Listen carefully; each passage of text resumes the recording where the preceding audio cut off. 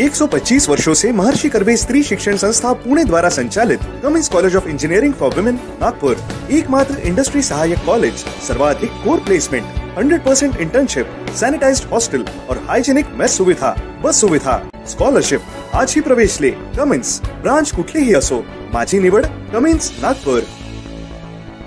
केंद्र सरकार की आंगनबाड़ी उन्नयन योजना के तहत जिला परिषद, नागपुर, महिला एवं बाल कल्याण विभाग द्वारा संभागीय आयुक्त कार्यालय के माध्यम से, एक विशेष समिति के माध्यम से संयुक्त जाँच और संबंधित के खिलाफ आपराधिक कार्यवाही की मांग आयोजित पत्र परिषद में रामटेक पंचायत समिति के पूर्व उपसभापति उदय सिंह यादव द्वारा की गई। आइए डालते हैं एक नज़र, क्या है ये पूरा मामला? मध्ये महिला बालकल्याण विभागाच्या मार्फत श्रेणीवर्धनमध्ये एक कोटी सहा लाख हा निधी केंद्र सरकारचा आला होता. निधीचा वितरणसुद्धा रितसर पंचायत समिती तालुका लेवलवरती तेराही तालुक्यामध्ये तो निधी वर्धा जिल्हा परिषदेच्या माध्यमात वर्दळ करण्यात आला त्या पैशाचा उपयोग कशा पद्धतीने केला याचं खंडन आम्ही स्टँडिंग कमिटीला मागची जी जिल्हा जिल्हा परिषद झाली होती त्या स्टँडिंग कमिटीमध्ये तो मुद्दा आम्ही उचलला.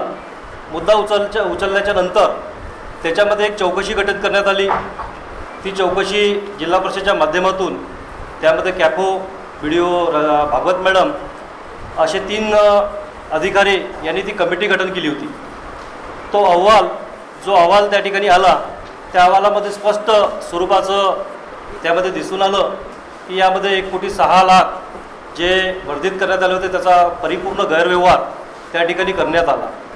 श्रीनिवर्धन श्रेणीवर्धनमधनं जे सेंट्रल गव्हर्नमेंटकडनं जे पैसे आलेले आहे जिल्हा परिषदा एक कोटी सहा लक्ष रुपयाचा हा जो घोटाळा आहे खरं तर याची तांत्रिक बाजू अशी आहे की महिला बा बा बालविकास जे अधिकारी आहेत जिल्हा परिषदेचे तांबेसाहेब यांनी एक कोटी सहा लक्ष रुपयाचा ते अमाऊंट पहिले सभागृहाची त्या ठिकाणी जनरल बॉडीची त्या ठिकाणी मंजुरी घेणं त्या ठिकाणी आवश्यक होतं.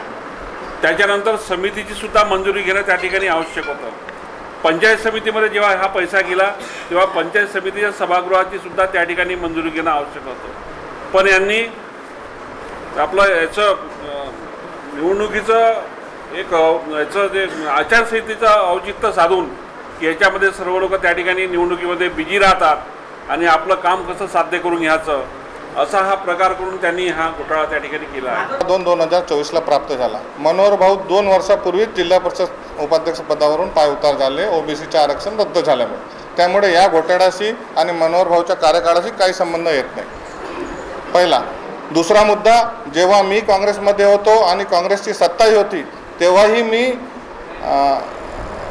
हँडवॉश सॅनिटायझर मास्क खरेदी आणि ते टेम्परेचर गन त्यांचा जो घोटाळा जिल्हा परिषदमध्ये होत होता सतत त्याची तक्रार मी स्वतः केली होती. त्याची चौकशी ग्रामविकास मंत्रालयाकडून लावली होती. जेव्हा सरकार होती तेव्हाही.